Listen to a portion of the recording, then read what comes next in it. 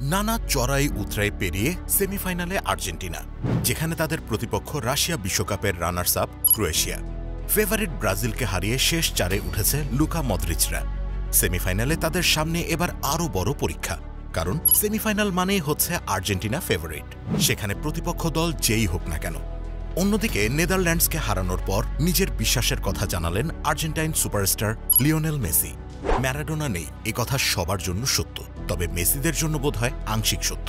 Messi বিশ্বাস করেন, football জাদুকর এখনও তাদের সঙ্গেই আছেন, অনুপ্রেরণা যোগাচ্ছেন। মেসির মতে, দিয়াগো ম্যারাডোনার আত্মাই আর্জেন্টিনাকে স্বপ্নের শিরোপার দিকে এগিয়ে নিয়ে যাচ্ছে। কোয়ার্টার ফাইনালে টাইব্রেকারে নেদারল্যান্ডসকে চার তিন ব্যবধানে হারিয়ে আর্জেন্টিনা উঠে গেছে সেমিফাইনালে। এই ম্যাচে সেরা হওয়া মেসি নিজে গোল করেছেন এবং গোল করিয়েছেনও। পাশাপাশি গোলরক্ষক মার্টিনেজের দৃঢ়তায় জয় ছিনিয়ে নিয়ে সেমিতে ওঠে তারা। ম্যাচের পর আর্জেন্টাইন অধিনায়ক বলেছেন, আর্জেন্টিনা দলের সাথে ম্যারাডোনার আত্মা আছে। তিনি দলকে স্বপ্নের শিরোপার দিকে এগিয়ে নিয়ে যাচ্ছেন। মেসি আরও বলেন দিয়াগো আমাদের স্বর্গ থেকে দেখছেন।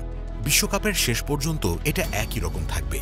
শুধু কোয়ার্টার ফাইনালের ম্যাচের পর নয়, কাতার বিশ্বকাপের আগেও মেসি স্মরণ করেছেন ম্যারাডোনাকে। তিনি বলেছিলেন, ম্যারাডোনা সবসময় আর্জেন্টিনাকে ভালোবাসতেন। সবসময় আমাদের সঙ্গে ছিলেন। এখন আমাদের সঙ্গেই আছেন। কোয়ার্টার ফাইনালে জয়ের পর সমর্থকদের উচ্ছ্বাসে খুশি মেসি। জানান, আমরা সকলেই এই মুহূর্তটা উপভোগ করেছি। দলের সকলেই আনন্দিত। দর্শকরাও এই সময়টা অনেক উপভোগ করেছে। এখন আমরা শীর্ষ চার দলের একটি। আমাদের কাঁধে এখন অনেক বড় দায়িত্ব। আর্জেন্টিনাকে শেষবার বিশ্বকাপ এনে দিয়েছিলেন ম্যারাডোনা উনিশশো ছিয়াশি সালে। ছত্রিশ বছর পর যে দায়িত্বটা আরও একবার মেসির কাঁধে। মেসি সেই দায়িত্ব এখন পর্যন্ত ভালোভাবেই পালন করছেন। এই বিশ্বকাপে গোল করেছেন চারটি। আর্জেন্টিনার হয়ে যৌথভাবে ক্যাব্রিয়াল বাতিস্তার সঙ্গে বিশ্বকাপের সর্বোচ্চ গোলদাতা এখন এই জাদুকর।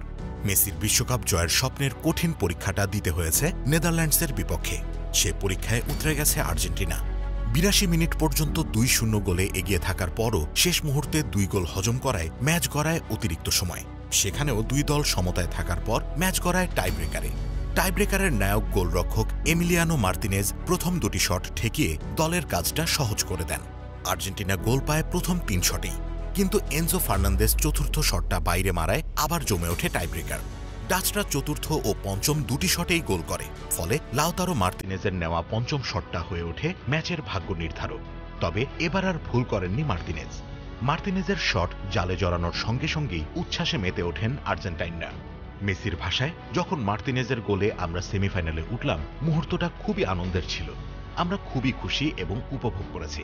এখানে আমরা সবার মধ্যে উচ্ছ্বাস দেখছি এবং আর্জেন্টিনাতেও দেখছি।